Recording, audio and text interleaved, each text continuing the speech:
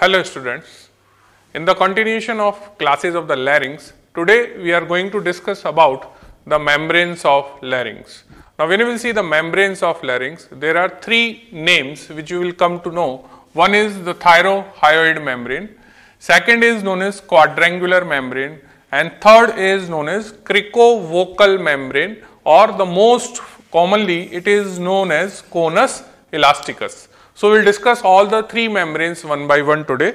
So first is the what is about the membranes of larynx. So the skeletal framework of the larynx is joined to the surrounding structure via an extrinsic membranes. So there are two types of the membrane. One is the extrinsic membrane, another is the intrinsic membrane. Extrinsic membranes are the membranes which connect the skeletal framework of the larynx to the surrounding structures.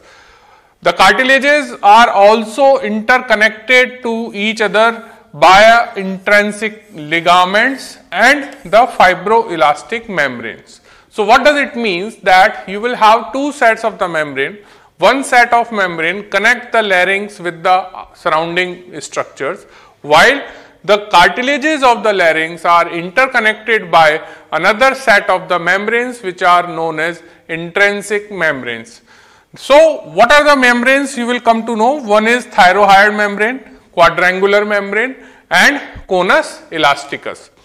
Now, when you will see all the three membrane, you will realize that thyrohyoid membrane is known as extrinsic or external membrane while the remaining two that means quadrangular membrane and conus elasticus are internal membrane they are intrinsic membrane they lies inside the laryngeal cavity now in this diagram if you will see that this is your hyoid bone. Now there is a membrane which is connecting the thyroid cartilage to the hyoid bone and this membrane is known as thyrohyoid membrane. Apart from that you have the two membrane one is the upper membrane inside the laryngeal cavity. Now this upper membrane is known as quadrangular membrane and there is a one more membrane in the lower part inside the laryngeal cavity is known as conus elasticus. It is also known as cricovocal membrane. So let's start with the thyrohyoid membrane. So thyrohyoid membrane is an extrinsic membrane that anchors the skeleton of the larynx to the hyoid bone. So this is the important thing as the name itself suggesting it is a connection between the thyroid cartilage and hyoid bone. The thyrohyoid membrane connects the whole length of upper border of the lamina and superior horn of thyroid cartilage to the body and greater horn of hyoid bone. Now in this diagram you can appreciate that this is your hyoid bone. Now in this hyoid bone this is your greater cornu and this is your body. Now in the lower part this is your lamina of your thyroid cartilage and this is the superior cornu of thyroid cartilage. In between you have connection and this connection is known as thyrohyoid membrane. So when you are reading the thyrohyoid membrane it is present in the upper part of the larynx and it is a connection between the thyroid cartilage and hyoid bone. But the important thing is that the thyrohyoid membrane ascend behind the body of hyoid bone and it attaches to the upper border. Now what does it mean? That it means is that this is your outer uh, margin of hyoid bone. Now this is your inferior border, this is your superior border. Now generally what you uh, are able to understand with the thyroid membrane that this is the hyoid and suppose this is the thyroid and generally we draw here with the upper border of thyroid to the lower border of thyroid. But here it is not like that. When you will see the upper attachment of the thyroid membrane, it ascend that means it arises from this point and it ascend posteriorly to get attachment here near the upper border of hyoid bone. So, it is on the posterior side of the hyoid bone.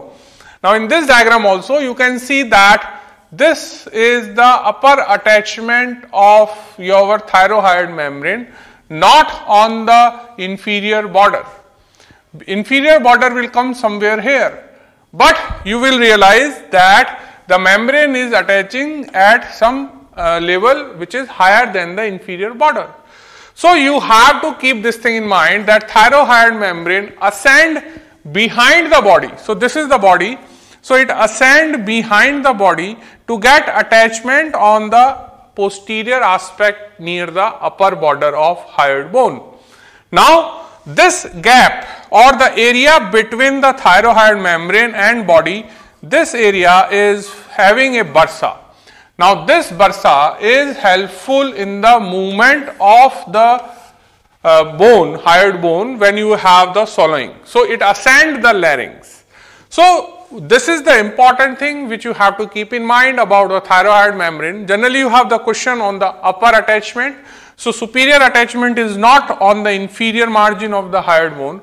It is rather on the superior margin but on the posterior side and the gap between the mem thyroid membrane and the body is containing a bursa and this bursa is helpful in the movement. The thyroid membrane form the lateral wall of the piriform fossa or the recess and it is perforated by the internal laryngeal nerve which is a branch of superior laryngeal nerve that comes from the vagus and the superior laryngeal vessels. Now in this diagram, if you will see the piriform fossa, what you are able to understand that this is the area where you will find the fossa. Now this piriform fossa is one-sided bound by this fold. Now this fold is known as aryepiglottic fold because it is coming from this epiglottic cartilage and approaching to this arytenoid cartilage. So this connection is known as aryepiglottic muscle and this airy epiglottic muscle present into this fold and this fold is known as airy epiglottic fold. So when you will see this piriform fossa, this fossa is medially bounded by this aryepiglottic fold and laterally it is bounded by the two structure upper is the thyroid membrane and lower part is medial surface or inner surface of thyroid cartilage. So you have to keep this thing in mind that whenever you are dealing with the pyriform fossa, you have to go inside the thyroid membrane and in the lower part on the inner side of thyroid cartilage, but on the lateral part of your airy epiglottic fold. Now, what about the thyrohyoid ligaments? So, the median portion is thickened and it forms the median thyrohyoid ligament and it, the round cord like lateral thyrohyoid ligament is there. Now, in this diagram, this thick cord like lateral thickening of the membrane is known as lateral thyrohyoid ligament which is present on both right and left side while this part is known as median thyrohyoid ligament which is comparatively less thick. It forms the posterior border of thyrohyoid membrane that is the lateral thyrohyoid ligament. It connects the tip of superior thyroid cornu to the posterior or horn of the greater uh, horn. So here you can see this is the posterior end of the greater horn, this is the upper end of the superior horn of thyroid cartilage and this connection is known as lateral thyroid ligament. Now what about the intrinsic membranes? I told you that there are two intrinsic membranes, quadrangular membrane and conus elasticus. So the fibroelastic membranes of the larynx which lies within the cartilaginous framework of larynx. So, whenever you are reading the intrinsic membrane, you have to keep this thing in mind that intrinsic membranes lies inside the larynx. These membranes lies beneath the laryngeal mucosa.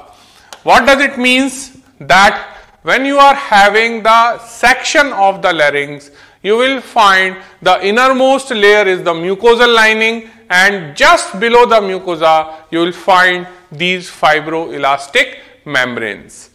Membrane form a discontinuous sheet. Now this is again the important thing that the continuity is not there in the whole length of larynx. Larynx start from the epiglottic folds which is actually known as laryngeal inlet and the larynx and where the cricoid cartilage continue below with the trachea.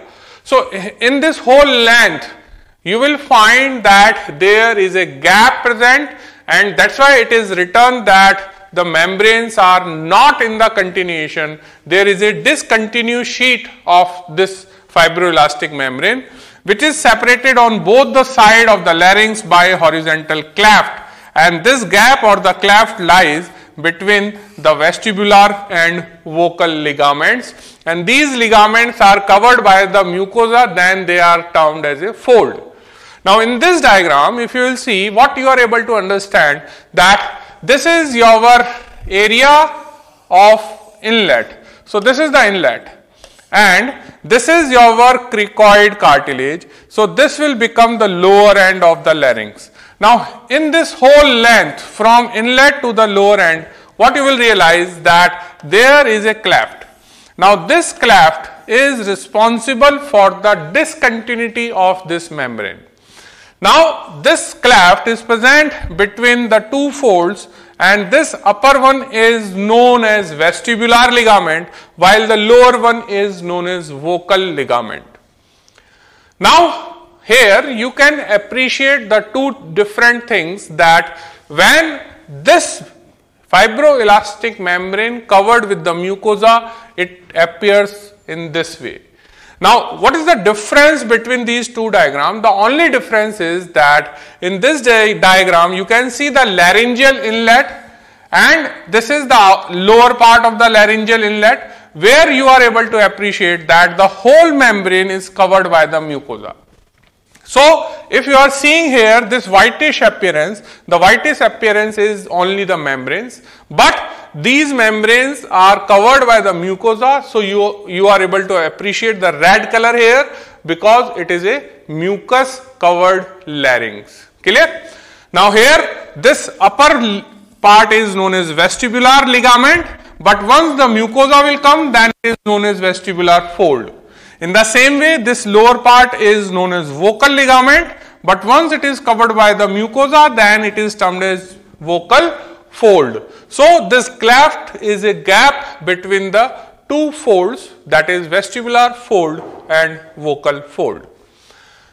So, what about the intrinsic membrane? The membrane lies within the wall of upper part of the laryngeal cavity. Now, this is the first thing which you have to keep in mind that in laryngeal cavity, we will divide this cavity into the two part up to this fold from the inlet, this is known as upper part.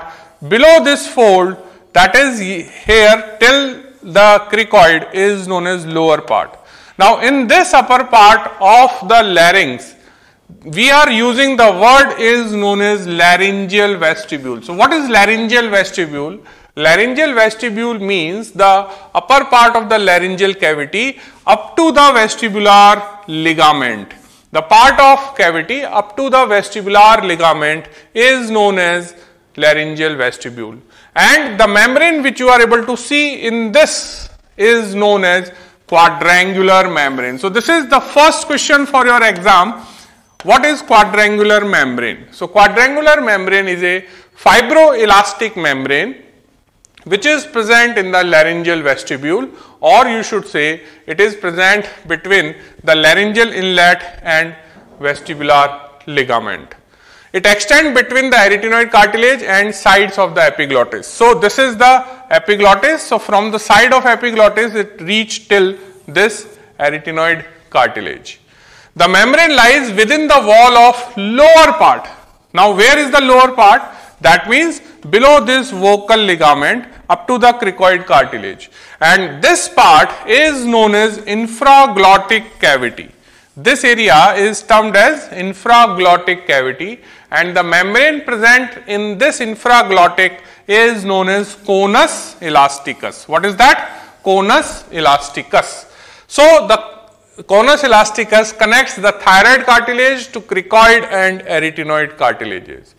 So, my dear students, whenever you are reading the intrinsic membranes, you have to keep two names in your mind quadrangular membrane and conus elasticus. What is quadrangular membrane? It is nothing but a membrane which is extending from the aryepiglottic fold to the vestibular ligament and it is the area known as laryngeal vestibule.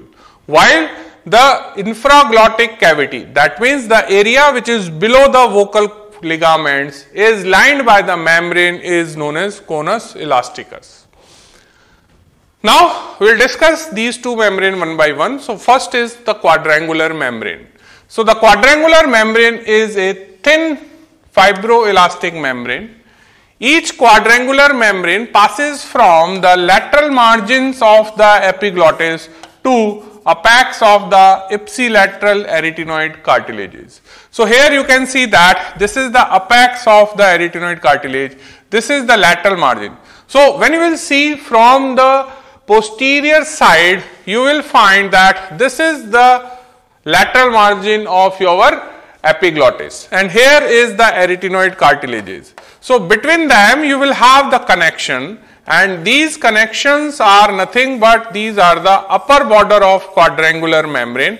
So, here you can see that this is the upper border of quadrangular membrane. Its anterior border is attached to the side of the lower half of epiglottis that we just seen that the anterior border is attached to the epiglottis. The posterior border is much shorter and it is attached to the arytenoid cartilage. So, the posterior border is attached to the arytenoid cartilage. The upper border and lower borders are free. Now, this is again the question for your exam. Now, when you will see this membrane, this membrane is like here. Now, this is the shape of the membrane. Now, this is the anterior border, this is the posterior border, this is the upper border and this is the lower border. Now, you have seen that this border is attached here on the sides of the epiglottis while this is attached here on the arytenoid cartilage, this upper border is free and lower border is free. Now upper border slopes posteriorly and it forms the aryepiglottic ligament. So this upper free border is considered as a aryepiglottic ligament. The mucous membrane when cover this fold then it convert into the aryepiglottic fold.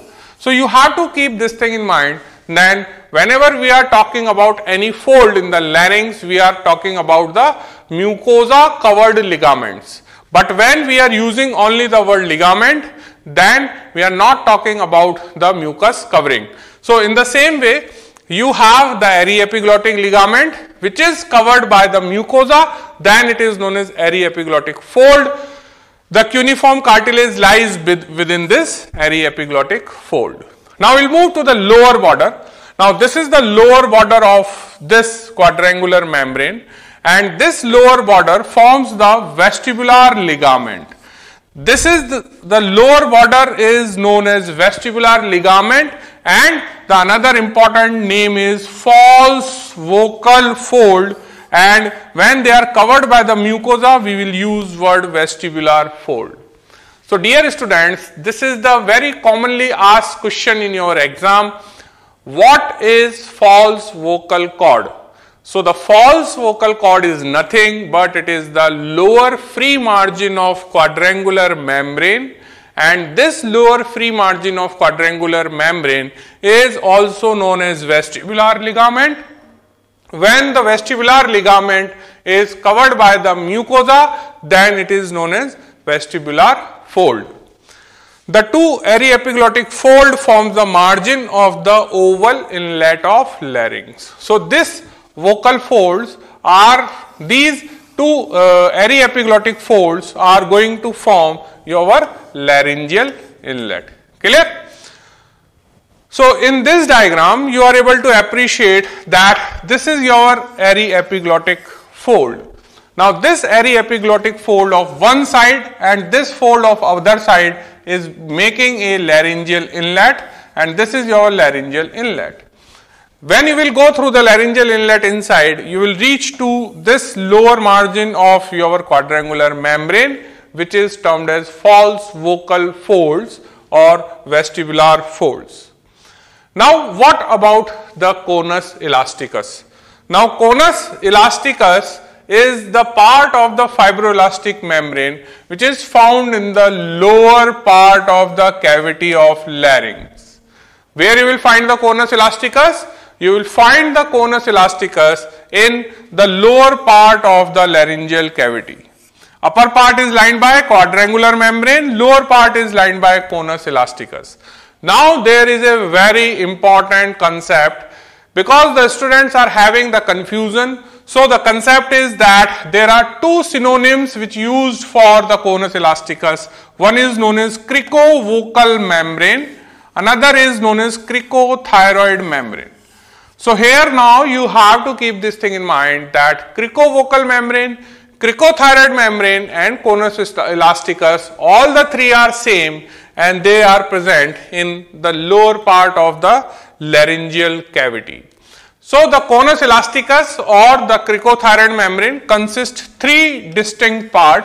One is known as right and left lateral part or right and left lateral cricothyroid membrane while a midline thick area is known as median portion. The term conus elasticus is mainly used for these right and left part of cricothyroid membrane. Now in this diagram you can see that this is the cricoid and this is the connection between the cricoid and thyroid cartilage. This is the thyroid cartilage and this connection is known as cricothyroid membrane. You can see now this cricothyroid membrane is having the two part midline thick part and the lateral part. The lateral part which you are able to see here is actually known as uh, cricovocal membrane or conus elasticus. The lateral parts are thinner as compared to the midline structure. The median part is often also known as anterior cricothyroid ligament the median cricothyroid ligament is thickened in the center and it is also termed as the part of conus elasticus. Now in this diagram, you have to first keep this thing in mind that when you are talking about the conus elasticus, you always have to consider the connection between the cricoid cartilage with thyroid cartilage. That means we are going in the lower part of the laryngeal cavity. And this connection is known as cricothyroid membrane or conus elasticus. And I told you that the upper margin is known as vocal cord. That's why it is also known as cricovocal membrane. So the lateral ligaments which are actually considered as a conus elasticus are inferiorly attached to the upper border of arch of the cricoid cartilage and the lamina. Here you can see this is the upper border of the arch and the lamina from where you are having the lower attachment of this cricovocal membrane. Now what about the superior attachment of laterally placed cricovocal membrane? It does not attach to the inferior border of thyroid cartilage. Now this line is very important, but it extends upward within the thyroid lamina. Now when you will see this diagram, what you are able to understand that if I will draw the inferior border of thyroid cartilage, then it should be here. It should be here. This will be the inferior border of thyroid cartilage. But what you are able to understand that this white color area is approaching here till the mid portion of inner surface of the thyroid angle. So that means this cricovocal membrane or the cricothyroid membrane ascend inside the inner surface of your thyroid cartilage. So that's why it is written here that superior attachment is not on this inferior border but it extends upward. It extends upward. Now where it extend? Now that we will see. So when you will see the each lateral cricothyroid ligament, it has a free thick superior edge. So where is the superior edge? This is the superior edge. Now this superior edge is a thick and free. Now the important another thing is that this edge attached anteriorly to the posterior or back surface of the angle of thyroid cartilage. Now this is the thyroid cartilage and you know that thyroid cartilage is having the right and left uh, lamina which are having a angle. So it is attached on this inner side of the angle. So it is having the anterior attachment on the inner side of the thyroid angle or that is known as Adam's apple and this is almost midway between the notch and the lower border. So this will be the notch, this is the lower border and almost the midway you will have the anterior attachment of this upper free margin of your cricothyroid membrane or conus elasticus. At the back, this, at the back, this border or this superior free edge get attached to the vocal process of arytenoid cartilage. So you know that there is an anterior process of the arytenoid which is known as vocal process. So this free edge constitute the vocal ligament or the vocal cord and they are all that's why this membrane is known as cricovocal membrane. Clear? So now you have to understand two concepts that there is a false vocal cord which are nothing but these are the inferior margin of quadrangular membrane and there is a true vocal cord which are upper margin of conus elasticus and this conus elasticus is a connection between the cricoid cartilage and vocal cords that's why it is also known as cricovocal membrane. Now what is the function of this conus elasticus? The conus elasticus derive its name because it is cone shape or funnel shape.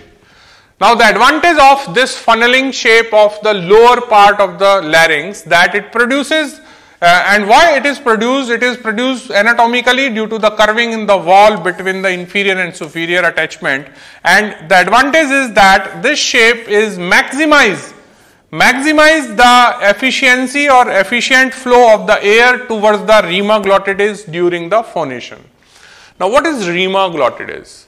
Rima glottidis is a gap between the right and left vocal fold. Now when you will see this is the angle of your uh, thyroid cartilage posteriorly you will have the two arytenoid cartilage in between we are having the connection one is the right vocal fold, another is the left vocal fold and this gap is known as rima glottidis.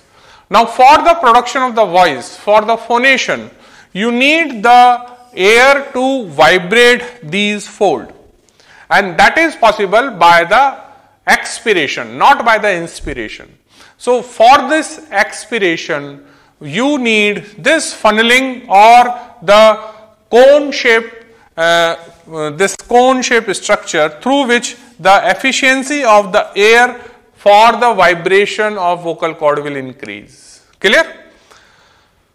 Now, what about the vestibular and vocal fold? I already told you that the free edge, lower free edge of the quadrangular membrane, that is the vestibular ligament, lies above the vocal ligament and there is a gap between the two vocal and uh, your vestibular ligament. So the first and the most important question is that mark this fold. So you have to understand that the upper one is false. Upper one is false vocal cord and this lower one is known as vocal cord or you can say true vocal cord. Clear? So you have to understand that the upper fold is actually the uh, false vocal cord and these are the lower free margin of quadrangular membrane. The quadrangular membrane and cricovocal membrane that means this upper membrane and this lower membrane they all are lined by the mucosa. The part of the mucosa or the mucous membrane which covers the vestibular and vocal ligament convert them into the vestibular and vocal folds. So that I already told you that when you are talking about the ligament, you are talking about the membranous part.